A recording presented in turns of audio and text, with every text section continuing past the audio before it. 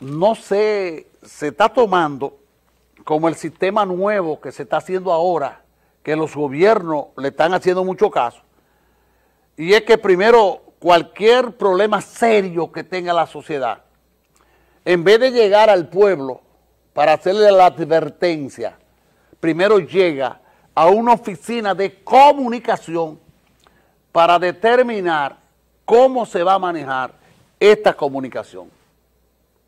Oigan, qué cosa que yo, para mí resulta peligrosa en algunas cosas. Porque algunas veces se manipula la información, se controla y cuando el problema es mayor que el control que ellos tienen, la desgracia para el pueblo dominicano es muy dura. Oigan este concepto porque lo voy a utilizar al final del programa.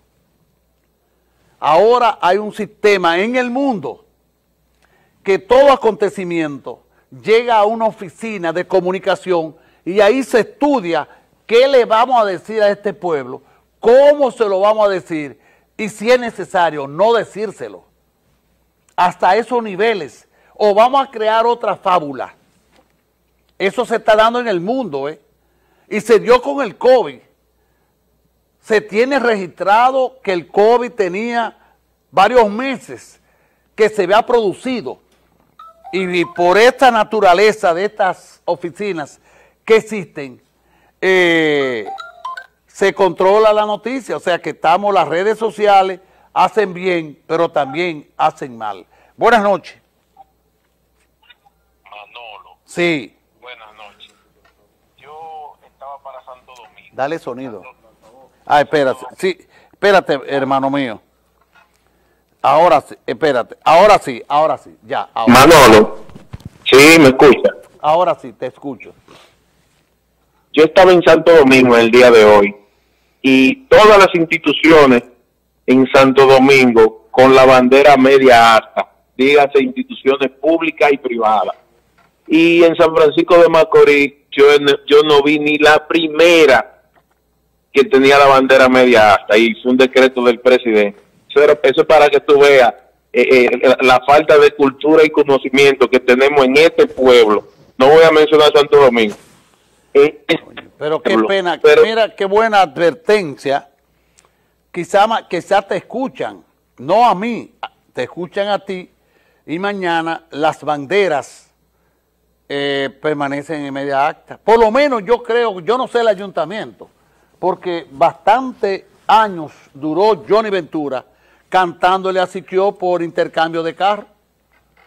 O sea que yo no creo que Siquio llegue a esos niveles que los gallos lo tengan tan, tan lleno de los gallos que se le olvide detalle de esa naturaleza. O sea que realmente me sorprende. Todo sorprendido. Qué pena que no le tomaste una foto y me la enviara. Entonces le decía a ustedes que ahora hay un nuevo, un nuevo en el mundo hay un nuevo sistema. Y es que las redes sociales primero cogen la noticia, entonces comienzan a controlarla.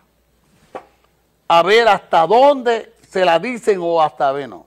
¿Ustedes recuerdan aquella vez cuando el PLD, el ciclón famoso, cuando Leonel Fernández, que llegó el ciclón David, que el responsable de comunicar la llegada del ciclón David quería manejar las cosas políticamente como tranquilo, ¿eh?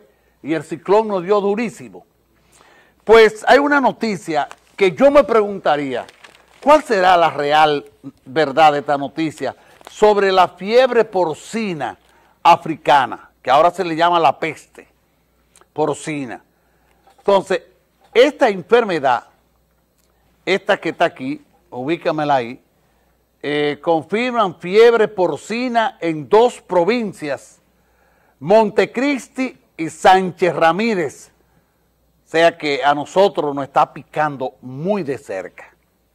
Entonces yo quiero que rápidamente pedirle al gobierno que, que si está utilizando la media mediar, mediatizar la información, de una situación que sería una desgracia, sería un golpe muy duro si aquí vuelve lo que nosotros conocimos cuando Antonio Guzmán en el 1978 la fiebre porcina africana.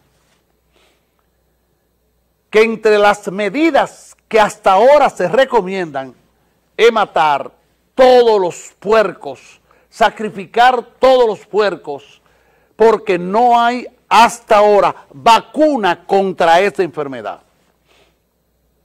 Aquella vez se dice que los empleados o los técnicos españoles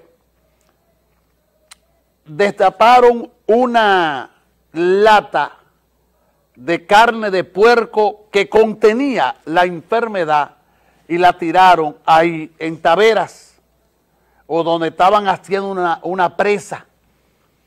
Y los puercos la lambieron, los puercos dominicanos, que en ese entonces eran de los puercos originales, muy familia de cerca del jabalí. Y para mí recuerdo que siendo muy joven, fue para mí de mucha tristeza lo que se estaba viendo y salía en la prensa. Y uno mismo, como yo soy de rabo de puerca, observaba cómo eh, sacrificaban a todos los puercos que estaban ubicados en esa zona del barrio mío. O sea que si de llegar y tener que aplicar, que ya están recomendando, eh, sacrificar todos los puercos, pues yo me atrevería a decirle, sin necesidad de alborotar al pueblo, que tenemos, además del COVID, una segunda peste que puede afectarnos muy duro. Aunque es de carácter animal, pero a última instancia, quienes se alimentan de esa carne somos los humanos, somos los dominicanos. Yo estuve visitando un centro de hace un tiempo, cuando vino una enfermedad de el veterinario, de un amigo veterinario, y la delicadeza cuando hay esa enfermedad, que hay que lavarse los pies, que los carros hay que darle con un, soplete de una decontaminación. O sea que las medidas son muy parecidas al COVID con relación a esas grandes granjas para tú estar en esa grande granja. Inclusive se recomienda que los obreros que trabajan en las grandes granjas de, cerdos tengan que cambiarse la ropa cuantas veces lleguen a su casa a comer. Si van en la tarde, se les recomienda cambiar de ropa y cambiar de guante. Déjame ver aquí esta opinión. Buena. Buenas noches, Manolo. Buenas noches, sí. Buenas noches. Sí, te escucho. Manolo, eso es el Dandí. El Dandí, lo que pasa es que le han camuflado el nombre. Bueno, mano. Aquella vez se decía que era Dandí, pero la ciencia demostró que no era el tradicional Dandí que conocíamos. De todas formas, te prometo que voy a llamar a Papo, eh, uno de los veterinarios con mucha capacidad, para que dé la opinión, porque yo creo que los científicos llegaron a determinar una diferencia entre el dandí y esa enfermedad. Lo que me da pena es que hace un mes, en una de esas zonas de Montecristi, de ahí de, por el lado de, de Jabón, los puercos se estaban muriendo. Y ahora es que vienen a confirmar que se trata de la enfermedad cuando en la época de Antonio Guzmán. Y esto es una enfermedad que no hay vacuna, que lo que se hace es una situación calamitosa, que es el sacrificio el sacrificio de todos los puercos. Vamos a ver una opinión de eh, una persona que estudió eh, mi hermano Chano. Buenas noches, hermano Chano. Sí, Manolo.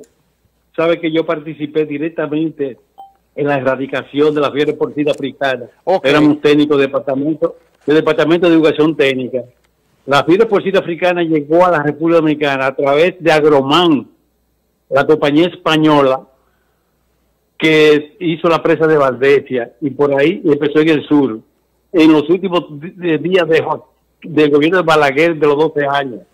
Balaguer trajo cuatro técnicos cubanos para eh, trabajar sobre la erradicación. ¿Sabe por qué Balaguer lo trajo? Porque si no los, mucha gente no lo sabe, la fiebre porcina africana es vieja y España lo último, lo único que tuvo que hacer fue separar en una región la crianza de puerco y en otra no para poderla controlar. Y el primer país y único país en el mundo que erradicó la fiebre porcina africana fue Cuba. ¿Y sabe qué pasó cuando ganó el PRD con, en 78?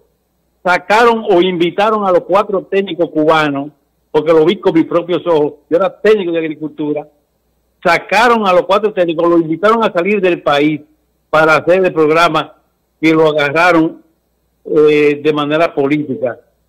Y es verdad, se eliminó todos los cerdos, porque compañías que venden cerdo madre en los Estados Unidos, aquí en, Estados Unidos, le interesaba volver a vender ser, eh, hembra para empezar, y así sucedieron las cosas, y esto pasó inadvertido. Eso yo lo digo con mucha propiedad. Gracias, Manuel. Miren, señores, el, dato que está dando Chano Bonilla, hay que tomarlo en cuenta. O sea que uno no sabe con este problema de las redes sociales. Diablo, ¿dónde está la verdad? ¿Tú te imaginas que ahora tengan que sacrificar todos los puercos? ¿Qué significa eso? Que en este momento hay un paquete de ricos tratando de hacer contacto con los puercos americanos.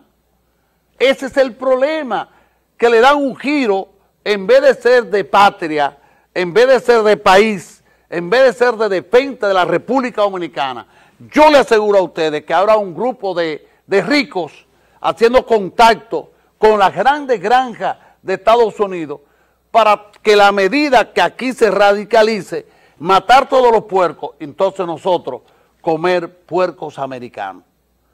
Entonces uno se pregunta, pero por Dios, ¿quién es que no está mintiendo?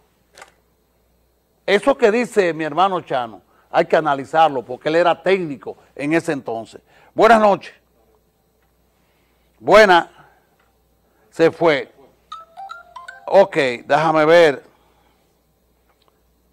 Buena. Buenas noches, don Manolo. Buenas noches. Con relación a la, con relación a la llamada que hizo el señor de que estaba en Santo Domingo y todas las banderas estaban a media alta, menos, aquí en San Francisco de Macorís. Pero aquí la persona que conoce un poco de cultura lo que hace es que se para simbólicamente en una esquina a mirar ese pueblo y a darle pena. Si aquí, si usted pone una persona inculta en el Departamento de Cultura, ¿qué se puede esperar aquí, en este pueblo? Aquí en San Francisco de Macorís. Cuando usted no es piloto y le da un avión, ¿qué rumbo puede coger ese avión? Usted, usted, ha visto cuáles son las presentaciones artísticas que trae aquí en San Francisco de Macorís cuando hay patronales porque el encargado de cultura del ayuntamiento, ese hombre no sabe ni dónde está parado, ese hombre no sabe lo que es cultura. Entonces dígame, usted le pregunta la biografía de Juan de Dios, de Juan de Dios Ventura Soriano, ya no sabe. Pero ¿quién el pupilo Manolo. ¿Quién es el director de cultura? Omar Javier. Omar, Javier. Omar Javier. Yo estoy seguro que él tengo que preguntar de quién es Juan de Dios Ventura Soriano, ya no sabe que es el mismo Johnny. O sea que mientras, mientras este país, este pueblo ande así, aquí estamos feos para la foto, hablando como hablamos lo que hablamos de agua puerca. Ok, mira, te agradezco la información, pero vamos a seguir sobre los cerdos.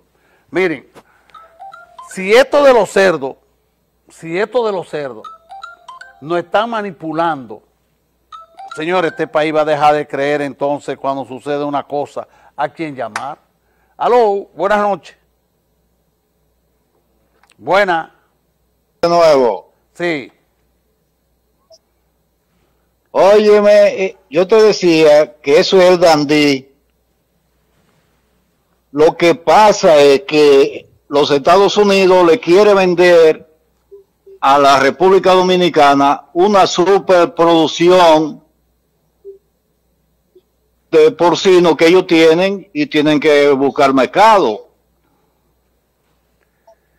Es decir, que a lo que no hay que creerle es al gobierno, es al gobierno o a los gobiernos que hemos tenido, porque lo que hablan es mentira. Bueno, eh, ¿con quién Pase buena noche. ¿Con quién tengo el honor? Bueno, eh, esta situación, yo mañana le prometo que voy a visitar varios veterinarios, porque no pueden seguir relajando con este pueblo no pueden seguir haciéndole daño tan profundo a este pueblo. Que a esta altura del juego hay una enfermedad que es grave, realmente es grave. Háganse la idea el precio que tomaría la carne de cerdo hasta que llegue la americana. Pero háganse la idea los miles de obreros que trabajan eh, en esas granjas, en esas grandes granjas eh, mire ese señor Cordero, mañana voy a poner Cordero. Si un familiar de Cordero o el mío Cordero, que alguna vez se ve este programa, necesito comunicarme con usted mañana, porque esto es tan grave como el COVID, ¿eh? Y no es porque le haga daño a los seres humanos. La carne, el comerla, dicen ellos. Ya yo me atrevo a decir, dicen ellos. Pero que a esta altura del juego tú no sabes sobre qué pie está parado. Si es un invento o no un invento. O si están tomando las medidas realmente científicas que mejor protejan este país. Pero señores, ¿qué va a pasar con este país? ¿Qué es lo que sucede? ¿Por qué tanto daño le están haciendo los políticos a este país? Que ni siquiera una enfermedad de esa naturaleza tenemos el derecho de saber diablo, ¿cuál es la verdad? Pero le prometo mañana, desde esta noche voy a comenzar a llamar gente que tienen que ver con este asunto del asunto de los cerdos, que es un problema serio, muy serio para los dominicanos.